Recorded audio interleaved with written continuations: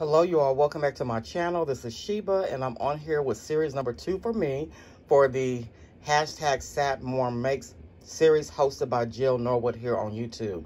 If you guys are not subscribed to Jill, go over and check out her channel and see all her beautiful tags and cards that she creates and she shares with us here on Saturday mornings and just throughout the week sometimes. Um, I will have the link to her channel in the description box down below. And hello to you, Jill, if you're watching. I'm enjoying even though it's a series number two for me, but I've been enjoying creating and sharing with you all here on YouTube. So before I get started with sharing with you all what I created, I hope that you're all having a wonderful weekend so far. And as always, I'd like to thank all of my new and returning subscribers for coming back to my channel and watching my videos. So I thank you all so much for that. So I did go ahead and use this Sunset Fields paper pad that I got from Michaels. Um, I did share this in my haul video. It was buy one, get two for get two free. And I love this paper pad because I love the sunflowers in here. It's just a beautiful uh, paper pad. I'm loving it. And when I seen it, I already had an idea of what I wanted to use it with. I love this uh, like light tan gingham check. Um, I did use some of this. Look at these sunflowers, you guys. So pretty. The uh, wood grain. Look at this page. Really pretty. I didn't use that page, but I will on something else. You got your, uh, like, border strips.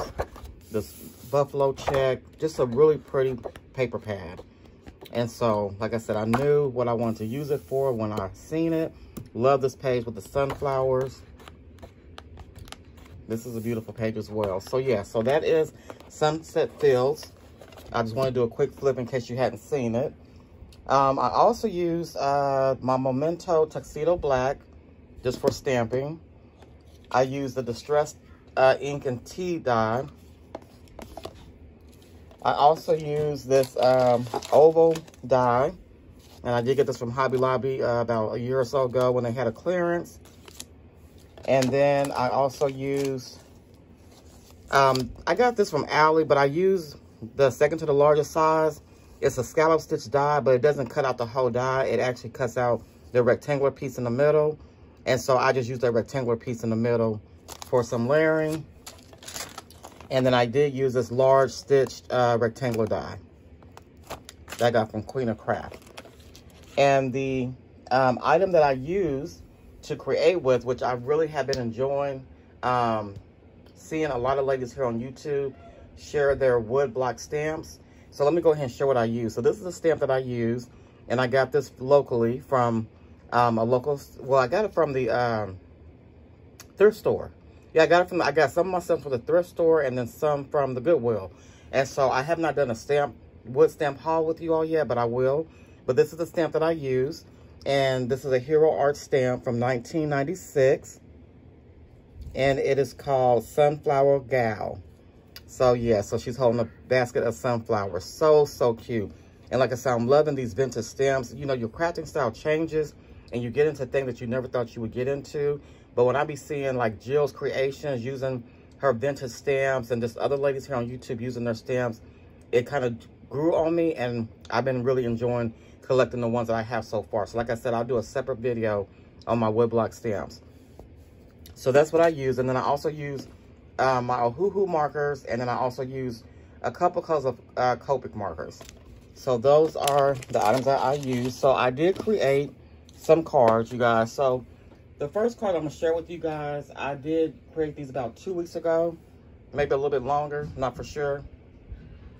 So this is the first card that I created. And these are not my favorite cards, but um, I still like them. Um, so here's that oval die. And then here's my girl that I colored in with the Ohuhu markers. And then her skin tone and her little rosy cheeks is with the Copic. The paper collection is from Michaels as well, but I did I do not have it anymore because I got rid of a lot of my paper pads that I had that were that I've been having in my stash for a long time. And it was just time to replace them with some new ones. So I got rid of a whole bunch, you guys, even with the iris cases. But I still have a lot. And it's, yeah, I still have a lot. Anyway, so that's the paper uh, from one of the paper fall paper pads. And then here's that uh, lace ribbon from Dollar Tree. And then I use the sunflower sticker from Hobby Lobby. And then I didn't do anything to the inside, so it'll just have to be what it is because I don't have the paper pad anymore. So yeah, so that's that one. And then I made another one using a different fall paper pad that I also got rid of. Um, and I did distress the edges as you can see on the card. I did distress it. And I did the stressing on this one as well with that tea dye. And then just the same concept, just a different color. I kind of did this one, kind of like this one right here. Just a little bit. Kind of just, you know, uh, color like this color here. So yeah, if that makes sense. I was trying to get that out. And then, so here's this one. And like I said, I was trying to make it vintage looking, you know, since it's kind of a vintage stem. And so, uh, distress the edges. We got the lace ribbon here on the side. And then I put the uh, sunflower here from Hobby Lobby on this side. So they're just opposite. And then I didn't do anything on the inside of this one either. So those are the first two cards that I created. And then last night, because I know I wanted to make some more cards using this particular paper pad. So I created this particular card, which I love the way this one turned out.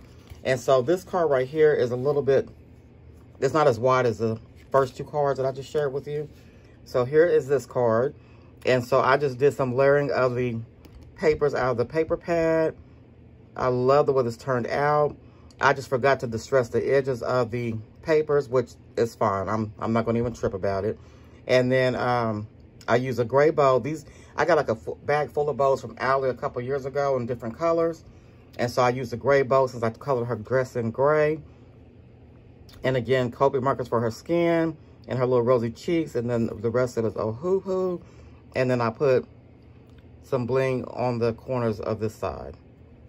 And then I did do some layering on the inside of the card just to write a message. So I love the way this turned out. And I did use 110 pound cardstock for the card base, if I didn't mention that. And then you guys, I had to throw in some pink in there somewhere. So here's a card that I made this morning. And I love the way this one came out, the colors of it. So I use that light tan, like buff uh, gingham check paper for the layering. And then the sunflower paper. And then just like the solid paper from here. And I love the way this turned out. Again, Ohuhu markers for most of the coloring. And then her skin tone and her little really cheeks are Copic. I have a little pink bow from that bow bag, that bag of bows that I have. I just thought it went perfect with this color theme. And then I just put some bling in the corners here. And I love, like I said, I love the way it's turned out. And then that is the inside of the card. So those are my creations that I created for hashtag Satmorn Makes. Again, hosted by Jill Norwood. I will have the link to her channel in the description box down below. I hope that you all enjoyed my project share of my cars. I've been loving making cars, just trying to get into car making. And it has been a lot of fun. And like I said, I've been enjoying making them. So I do want to thank you all so much for watching. You all have a great weekend. I have a three-day weekend, you guys, because I'm off on Monday. So it gives me an extra day for the weekend. And I'm so excited. So yeah, so anyway, you guys, thank you so much for watching. You all have a great weekend. And I'll see you in the next video. Bye-bye.